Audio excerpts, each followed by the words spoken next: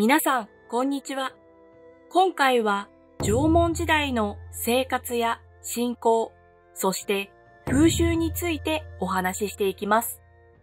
縄文時代に生きていた人々は一体どのような生活を送っていたのでしょうか？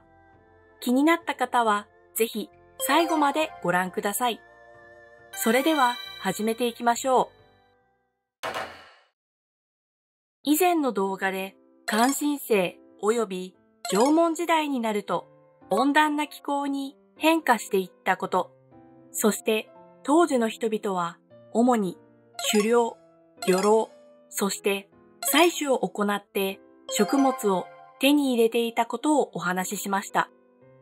対して縄文時代の一つ前の時代である旧石器時代に生きていた人々は大型動物を追い求める生活を送っていました。しかし、先ほどお話ししたように、縄文時代になると気候が変わり、あらゆる場所で食物が手に入るようになりました。つまり、縄文時代に生きていた人々は食物を安定して入手できるようになったということです。旧石器時代に生きていた人々は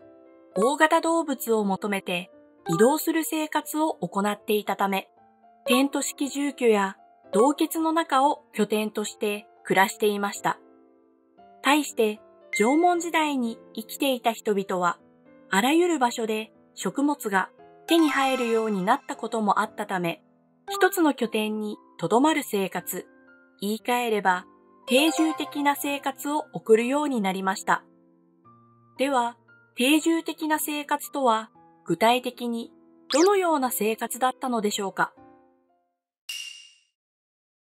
縄文時代に生きていた人々は縦穴式住居、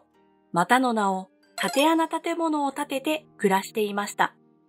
縦穴住居とは地面を掘り下げて、そこに掘ったて柱を立てて、さらにその上に屋根をかけた住居のことです。ちなみに、掘ったて柱とは地面を掘り下げた後、その穴に直接立てた柱のことです。縦穴住居の中は半地下となっています。なぜかというと、半地下式にすることで外気の影響を受けにくくすることができたためであると考えられています。つまり、縦穴住居の中の温度や湿度は年間を通してあまり変わらなかったということです。また、縦穴住居の中の中央部分には炉が設置されていました。当時の人々は炉を利用して食物を温めていたのではないかと言われています。縦穴住居は広場を囲むように並んで建てられる場合がほとんどでした。そしてその周囲には主に食物を保存するために掘られた貯蔵穴や墓地、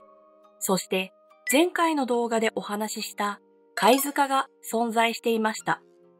一つの拠点に対して4から6軒程度の世帯が暮らし、合わせて2、30人ほどの集落を形成していたのだとか。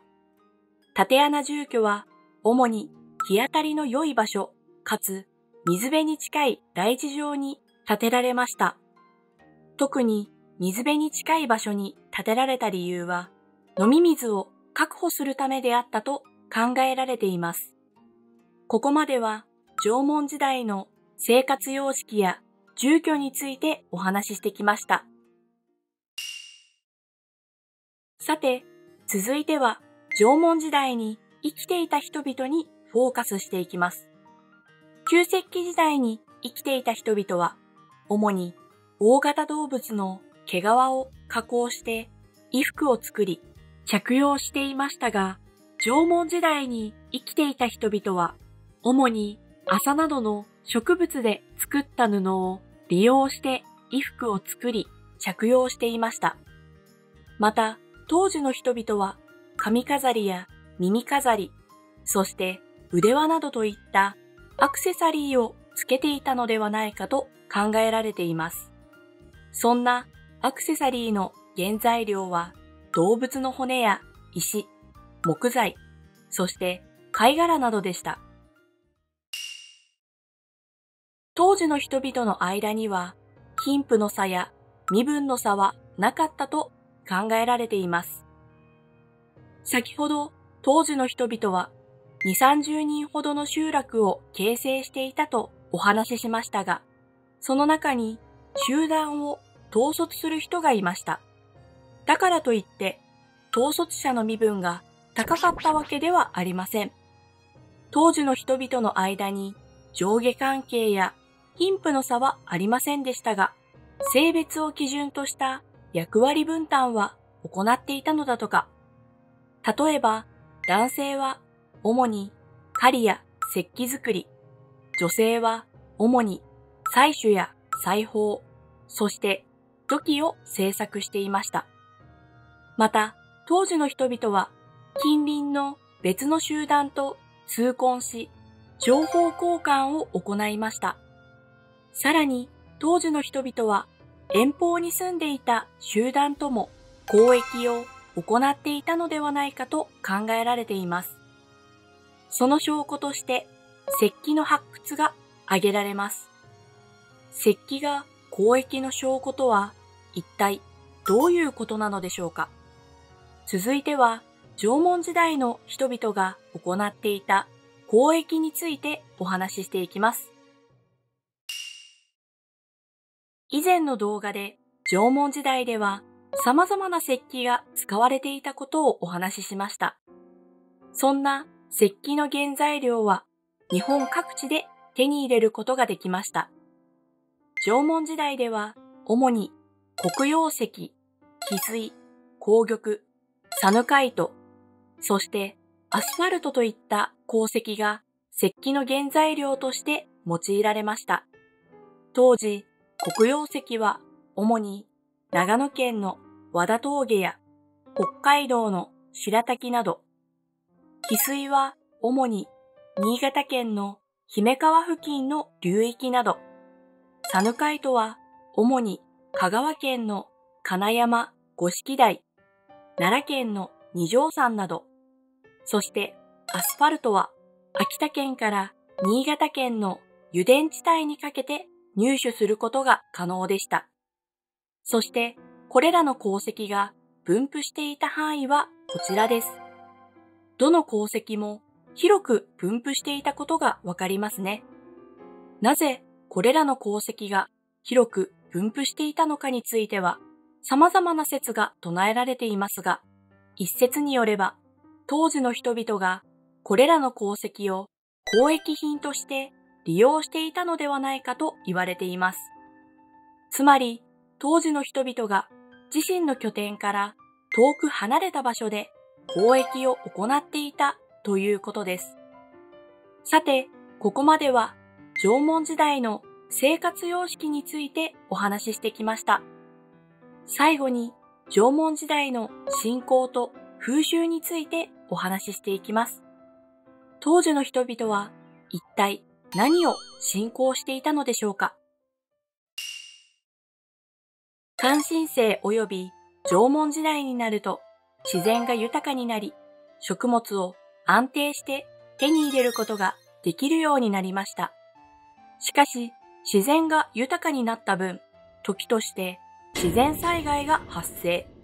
当時の人々の生活に大きな影響を与えてしまうこともありました。そこで当時の人々は自然と向き合うことを決心し、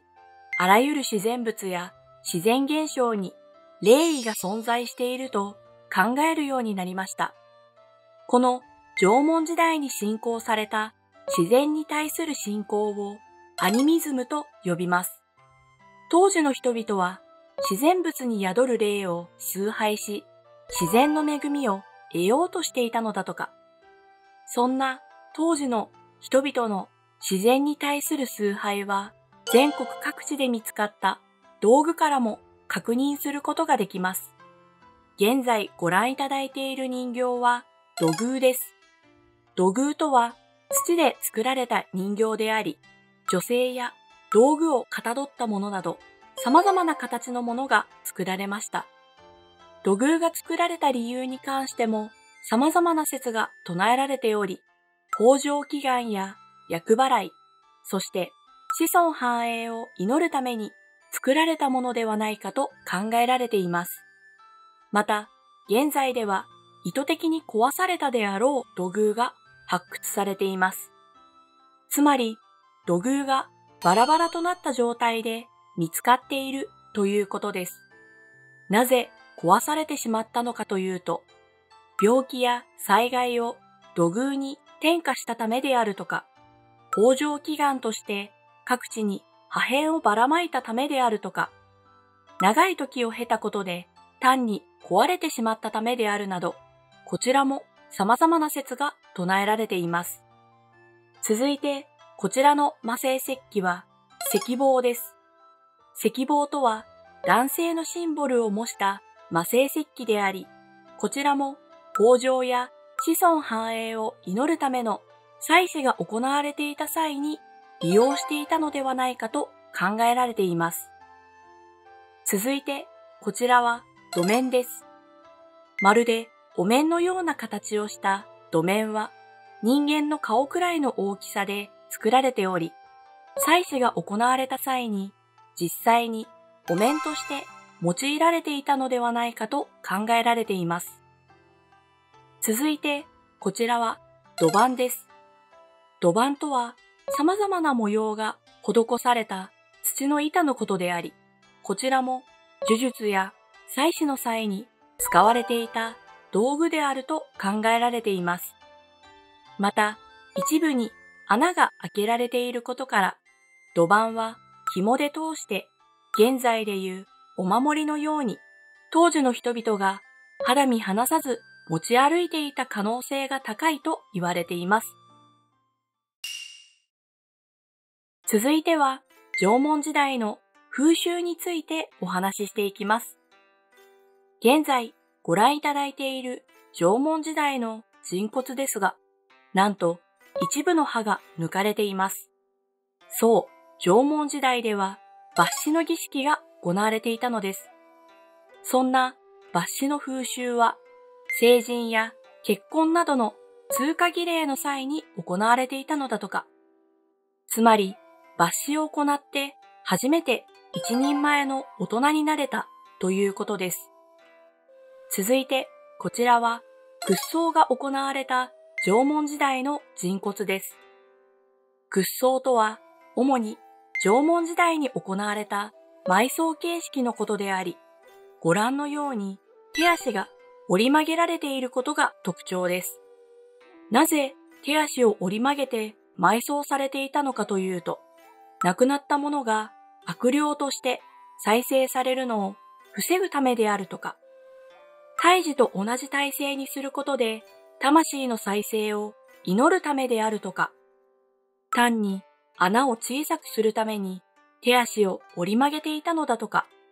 屈葬が行われた理由に関しても様々な説が唱えられています。続いては、こちらの景色をご覧いただきましょう。数々の石が輪になって並べられていますね。このように石が円形に並べられた遺跡を環状列石、またの名をストーンサークルと呼びます。環状列石の規模は遺跡によって様々であり、祭祀や儀礼に関わるものであったとか、お墓として利用されていたとか、